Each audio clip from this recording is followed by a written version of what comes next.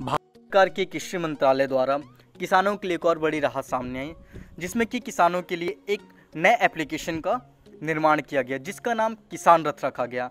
नाम से ही आप समझ सकते हैं कि इसका मुख्य उद्देश्य किसानों के लिए ही है। जो भी किसान इस मौसम में जो भी फ़सल उत्पादन किए हैं, उस फ़सल को खेतों से डायरेक्ट मंडियों तक वेयर हाउस तक पहुँचाने के लिए इस एप्लीकेशन का निर्माण किया गया है। इससे किसानों को कठिनाइयों का सामना नहीं करना पड़ेगा और साथ ही साथ जो भारत सरकार के द्वारा जो निर्धारित मूल्य हैं, वो निर्धारित मूल्य किसानों तक आसानी से पहुंचेंगी। तो आइए चलते हैं वीडियो की ओर। मैं अनुप धवन, आप देख रहे हैं हेलो फार्मर यूट्यूब चैनल सबसे पहले आपको तो आपके फ़ोन के प्ले स्टोर पर जाना है। प्ले स्टोर पर जाने के बाद आपको किसान रथ लिख देना है। किसान रथ लिख के जैसे आप सर्च करेंगे, वैसे ही पाँचवें नंबर पे आपको Kisan Rath N I C E government mobile app के नाम से एप्लीकेशन होगा। उसे आपको इंस्टॉल कर लेना है। जैसे इंस्टॉल हो गया, आप इस एप्लीकेशन को ओपन कीजिए। आप ओपन किए। देखिए, आपको आपका लैंग्वेज चूज़ करने के लिए बोल रहा है।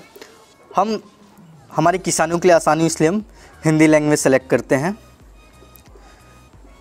देखिए, अच्छी बात यह है कि आप किसान हैं व्यापारी है या सेवा प्रदाता हैं।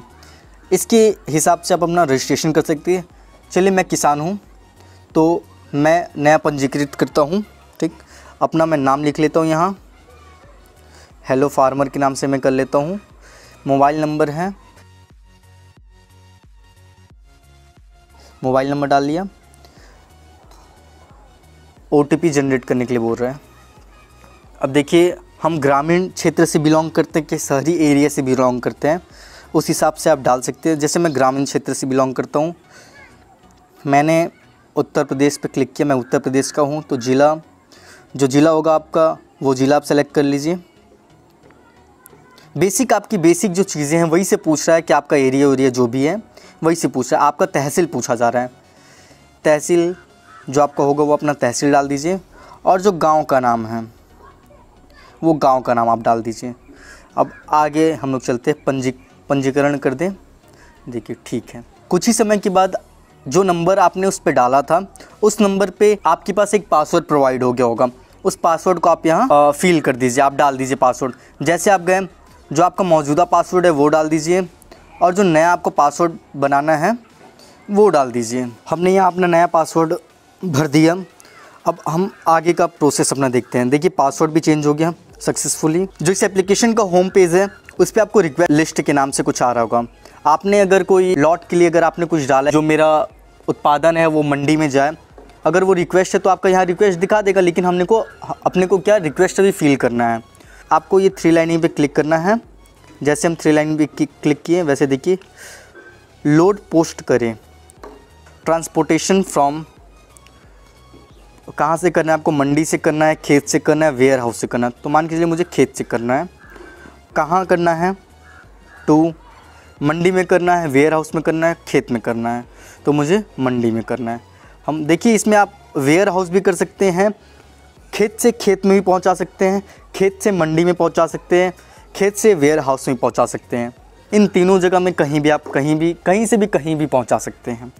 तो मान के लिए हमको मंडी में पहुंचाना आगे हम बढ़ें। ये आप अपना स्टेट स्टेट डाल दीजिए जो आपका स्टेट है। और जो ज़िला है वो डाल दीजिए।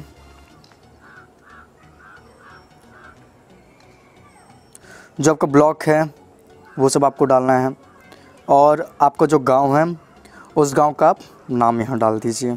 देखिए, हमने सारा डाटा यहाँ फिल कर लिया। इसके बाद आया ये कॉमोडिटी ग्रुप मतलब आपके पास क्या चीज़ है जो आप एक्सपोर्ट करना चाहते हैं आप निर्यात कर रहे हैं। या ड्राई फ्रूट्स है, ये देखिए फ्लावर है, फ्रूट्स है, या फिर पल्स है, जो भी है, वेजिटेबल्स, मान के लिए मेरे पास वेजिटेबल वेजिटेबल पे हम कर लिए। अब यहाँ, वेजिटेबल में आपके पास क्या है? वेजिटेबल का हम नाम बता दीजिए, जो अभी आपके पास वेजिटेबल है, जैसे सेम, मैंने सेम पे क्लिक कर लिया। अब उसकी वज़न क्या है? वज़न उसका कितना है उस सेम का?